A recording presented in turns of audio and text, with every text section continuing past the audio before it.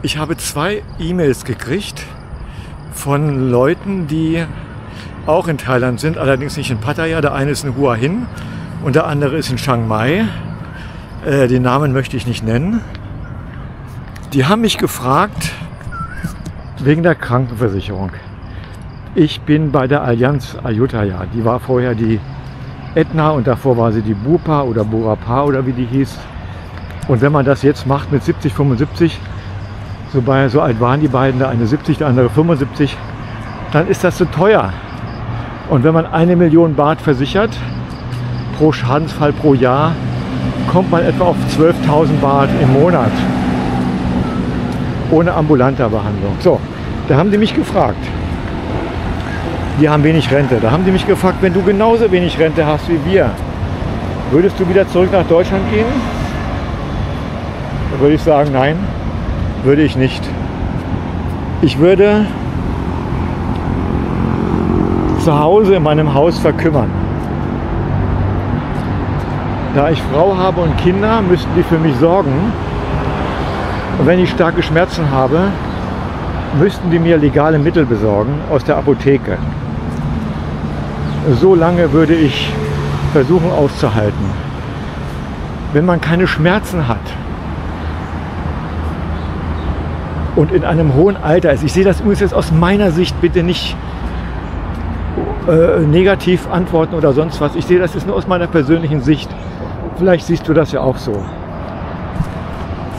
Also wenn ich jetzt, sagen wir mal, 75 Jahre alt wäre und die Krankenversicherung kostet als Beispiel 15 oder 20.000 Baht im Monat und meine Rente ist nur 30.000, dann ist das unmöglich zu bezahlen. Das geht einfach nicht.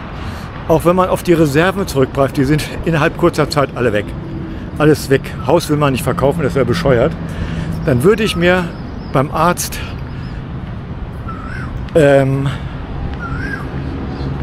medizinische Produkte verschreiben, die legal sind, sodass ich keine Schmerzen habe. Und dann würde ich nur zu Hause bleiben. Ich würde gar nichts mehr machen und einfach abwarten. Denn das Schlimmste und das meiste oder die größte Angst, die ich habe, Alter ist krank zu sein und starke Schmerzen zu haben. Was kann man gegen die Schmerzen machen? Man geht natürlich zum Arzt, der verschreibt an Medikamente. Oder man wird operiert. So, wenn man sich dann hier die Krankenversicherung nicht mehr leisten kann, da gibt es sicherlich einige, da muss man halt versuchen, ein gewisses Kapital anzusparen. Grundkapital oder das Kapital, was man hat, zu nutzen,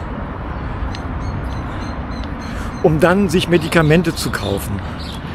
Oder man hat halt noch ein Rückflugticket und man hat Verwandtschaft in Deutschland, die einen aufnehmen, die einen pflegen wollen. Kann man machen, aber ich würde das nicht machen. Erstmal kenne ich keinen mehr in Deutschland, der diese Aufgabe übernehmen würde. Jemand, der so lange weg ist, da verliert man dann auch den persönlichen Kontakt. Da würde ich also hier bleiben. Oder wie siehst du das? Da bin ich echt gespannt. Was würdest du machen in solch einer Situation? Was wäre, wenn? Was wäre, wenn du dir die Krankenversicherung nicht mehr leisten kannst? Du bist 75, 70, meinetwegen 80. Du bist noch einigermaßen fit im Kopf. Und deine Krankenversicherung will richtig Geld haben. Auf die Krankenversicherung verzichten oder dir alles mühsam vom Mund abzusparen. Oder sagen, okay, Risiko. Wenn ich krank bin, nehme ich Medikamente, versuche keine Schmerzen zu haben und warte darauf, was passiert. Es ist, wie es ist. Einfach loslassen. Ich bin wirklich gespannt. Sag mir doch bitte mal deine Meinung. Ich würde mich total freuen. Danke für das Angucken und das Zuhören.